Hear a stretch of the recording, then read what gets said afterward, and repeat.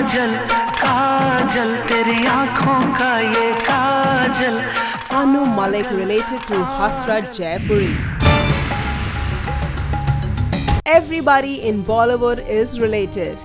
They all belong to the same family.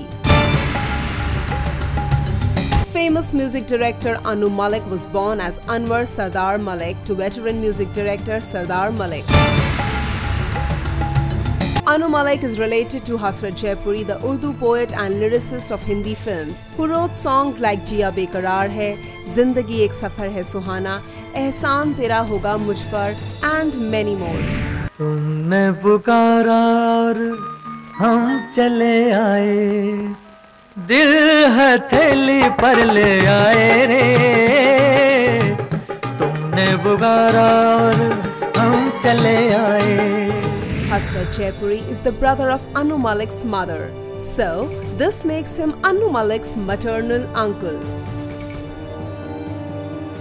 To know more about such interesting connections, subscribe Page 3 Reporter.